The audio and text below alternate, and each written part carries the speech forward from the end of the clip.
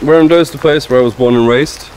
Um, been living here all my life uh, for 20 years, 24 years and still counting. Um, kind of my safe haven, to be honest.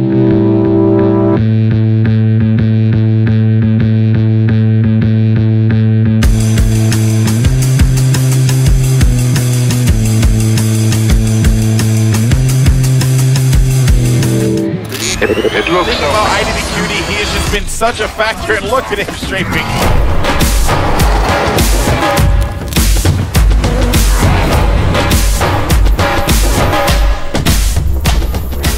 My name is Andrew Dahlström, uh, also going by the nickname IDDQD in Overwatch.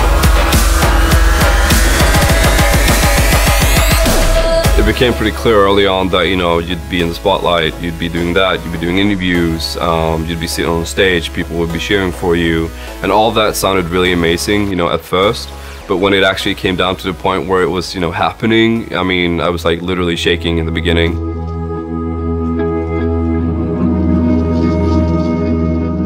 I think it goes by the saying that what you don't understand um, like you're kind of afraid of what you don't really understand, I guess is the saying. And I think that applies to my mother in many ways. Jag har försökt att få honom att fokusera på att skaffa sig en utbildning som han kan eh, använda sig utav och eh, skaffa sig ett jobb. För det är vad vi har ansett varit väldigt viktigt. På den tiden så förstod man ju inte att man kunde faktiskt också göra sig en karriär inom e-sport. She didn't really understand esports at all. She didn't understand gaming in general either. So there was a lot of conflict, like conflicting opinions on whether I should be doing with my future.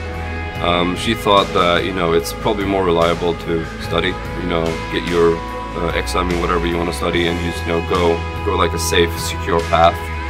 The more she understood, like the more she kind of you know studied the game, studied the scene, and everything in and out, she started to also understand you know the whole scenario. It's very, very crucial that you have the family support when you're doing these things. It's kind of funny. I didn't choose McCree. He chose me. Oh! What a flashbang coming out! And Seagull, not a chance. IDDQD, the goalie, he had one job to stop Seagull, and he did it beautifully. So what happened was, um, at the time, we needed a McCree player in the team, like very, very early on in the game. I didn't like him that much. He wasn't really appealing to me at all. Um, but I decided to give it a try, and it kind of stuck with me ever since that day. And today, you know, I'm considered amongst you know the top DPS players in the game. So like that transition happened very quickly. So the World Cup is it's literally like a world championship. Instead of like organizations representing teams, you have teams representing countries instead. The shields, there we go. Gets himself a triple. Literally like shooting fish in a barrel indeed. I've been teammates with every single player. We have Zebbosai, who's the support player for Misfits. We have Save, who is the support player for uh, Luminosity Gaming. We have Chipshajen, who's like a flex support kind of person. Yeah, he plays like flex support as far as we're concerned. He's from Team EnVyUs. We have Cocco, who is a tank, and he also plays for Team EnVyUs. We have Twig, who plays for Rogue as a flex DPS, and we have me.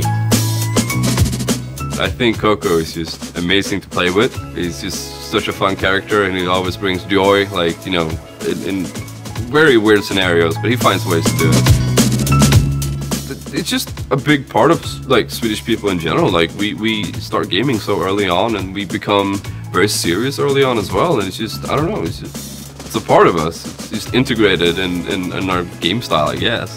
So yeah, it's very important.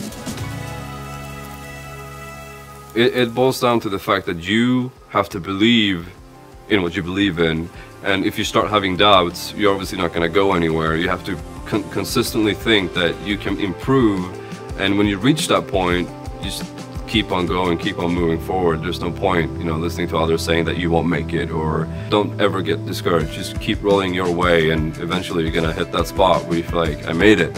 And that's practically it, just never give up.